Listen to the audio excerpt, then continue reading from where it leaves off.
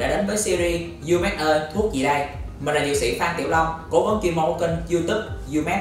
Hôm nay chúng ta sẽ cùng nhau tìm hiểu về ginkgo biloba hay tạm gọi là thuốc bổ não là bởi vì đây là một loại thực phẩm chức năng có tác dụng hỗ trợ cải thiện sức khỏe chứ không có tác dụng điều trị một vài thông tin mà các bạn có thể nghe thấy hoặc nhìn thấy trên mạng xã hội như là ginkgo biloba giúp điều trị Alzheimer cải thiện các di chứng sau ta biến mạch máu não hay là chấn thương sọ não, giúp điều trị mất ngủ. Nhưng mọi người có đang thần thánh hóa quá sản phẩm này hay không? Công dụng thật sự của ginkgo biloba là gì? Thì ngay bây giờ, mình và các bạn sẽ cùng nhau tìm hiểu và đưa ra các ý kiến chuyên môn về sản phẩm này.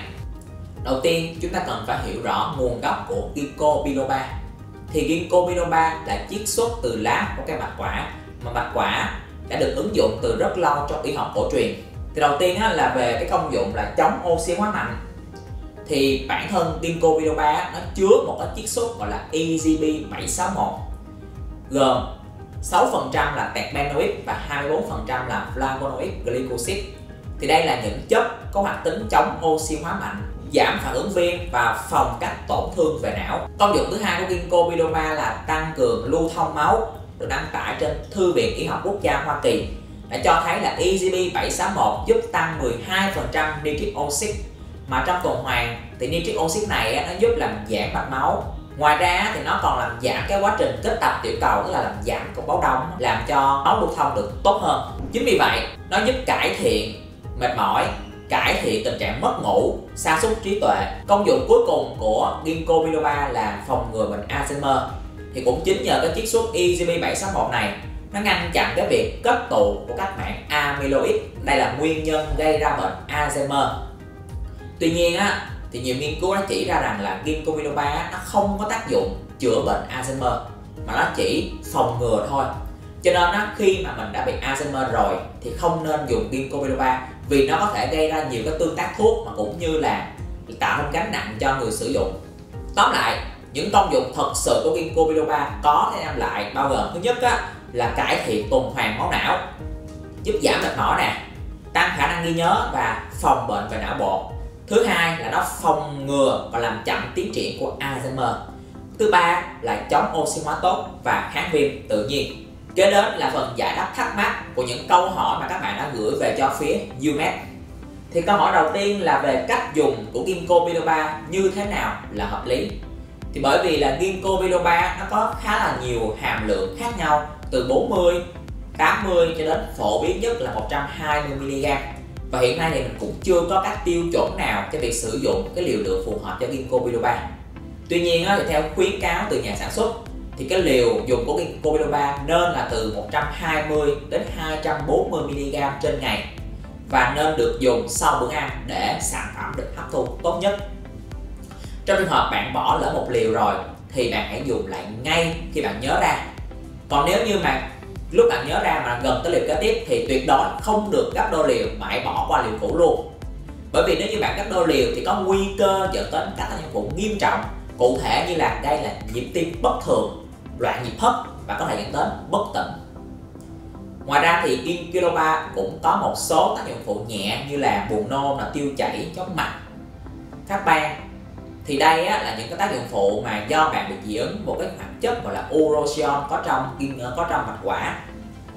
Thì hoạt chất này nó cũng có trong là vỏ xoài cây thường xuân hay là hạt điều. Trong trường hợp các tác dụng phụ này trên nghiêm trọng thì bạn cần ngưng sử dụng sản phẩm ngay và đến cơ sở y tế gần nhất để được chữa trị kịp thời. Còn kế tiếp là có phải ai cũng dùng được ginkgo biloba hay không? Thì câu trả lời là không bởi vì ginkgo biloba nó chỉ có hiệu quả với một vài đối tượng đặc biệt mà thôi. Đặc biệt đó là những người mà thường xuyên đau đầu nè, hoa mắt mất ngủ, thiếu máu não, hay là những người mà thường xuyên gặp vấn đề về thần kinh như là giảm trí nhớ sa sút trí tuệ, hoặc là những người làm việc văn phòng như là học sinh sinh viên. Vậy, những đối tượng nào thì tuyệt đối không được dùng ginkgo biloba? Thứ nhất, chắc chắn là phụ nữ có thai, bởi vì là ginkgo biloba nó liên quan tới những vấn đề chảy máu nên là nó có thể làm cho quá trình sinh nở của phụ nữ có thai trở nên khó khăn, chảy máu nhiều, khó cầm máu. Thêm nữa là hiện tại cũng chưa, mặc dù là chưa có nhiều nghiên cứu là chứng minh cái việc dùng ginkgo biloba nó có ảnh hưởng đến thai nhi. Nhưng mà để đảm bảo tránh các tác dụng không mong muốn thì tuyệt đối không dùng ginkgo biloba trong thời kỳ mang thai. Còn đối với phụ nữ đang cho con bú thì mặc dù cũng chưa có nghiên cứu lâm sàng chứng minh là ginkgo biloba có thể phân bố qua sữa mẹ nhưng để đảm bảo cho sự phát triển của trẻ nhỏ, thì các bà mẹ cũng nên tham vấn ý kiến của bác sĩ hoặc là dược sĩ trước khi sử dụng sản phẩm ginkgo biloba các đối tượng khác như là người thiếu hụt men G6PD hoặc là người sắp phẫu thuật cũng không được dùng ginkgo biloba vì các vấn đề liên quan tới chảy máu. Đặc biệt là những người sắp phẫu thuật thì tuyệt đối không dùng ginkgo biloba trước 2 tuần. Bên cạnh đó thì bởi vì là ginkgo biloba khá là dễ mua nên là mọi người dùng rất là không đúng rất dễ gây tương tác thuốc biệt là aspirin 81 nó làm tăng nguy cơ chảy máu. Cho nên là nếu như các bạn đang có một bệnh lý đi kèm, hoặc là các bạn đang dùng rất là nhiều thuốc, thì tốt nhất các bạn cần hỏi ý kiến của bác sĩ hoặc là dược sĩ trước khi mà mình dùng sản phẩm ginkgo biloba này. Câu hỏi cuối cùng mà mình nhận được là có thể mua ginkgo biloba chính hãng ở đâu và tầm giá là khoảng bao nhiêu? Thì bởi vì là ginkgo biloba nó có khá nhiều hàm lượng như mình đã nói 40 80 120 nên là giá nó cũng sẽ rất là khác nhau. Tuy nhiên thì các bạn có thể tham khảo sản phẩm chính hãng tại Umestore Link mình sẽ để bên dưới phần mô tả. Cuối cùng, chúng ta đến phần quan trọng nhất của video là những ưu và nhược điểm mà mình đã nghiên cứu được. Đầu tiên là về nhược điểm của ginkgo biloba, thì chắc chắn là nó có nhiều tác dụng phụ khi quá liều và tác dụng phụ này cũng khá là nghiêm trọng. Thứ hai là ginkgo biloba nó gây tương tác thuốc rất nhiều loại thuốc. Cái điểm cuối cùng là ginkgo biloba nó không điều trị được Alzheimer. Bên cạnh những cái nhược điểm đó thì nó cũng có những cái lợi điểm như là đây là một chất chống oxy hóa và kháng viêm tự nhiên rất tốt. Nó giúp cải thiện giấc ngủ và đây là một sản phẩm tăng cường tuần hoàn não phù hợp cho những người hoạt động trí não như là học sinh, sinh viên và nhân viên văn phòng.